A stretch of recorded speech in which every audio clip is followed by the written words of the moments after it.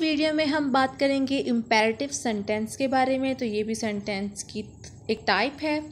So what is imperative sentence Imperative sentence is asked for a question and gives command and it ends with a period and an exclamation mark.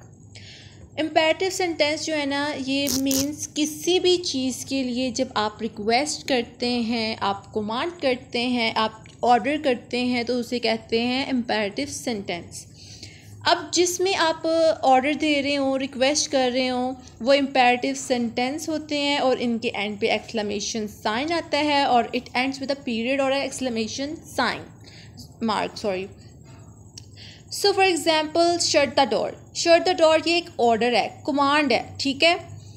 Please come back वापस आ जाओ। वो request कर रहा है कि तुम वापस आ जाओ, ठीक है? तो ये क्या है? ये रिक्वेस्ट है। सो so, ये था हमारा बहुत ही छोटा और इजी सा कंसेप्ट इम्पेरेटिव सेंटेंस के बारे में। आई होप कि आपको समझ आ गया होगा। अगर आपका इससे रिगार्डिंग कोई भी क्वेश्चन है आप कमेंट सेक्शन में पूछ सकते हैं। And thanks for watching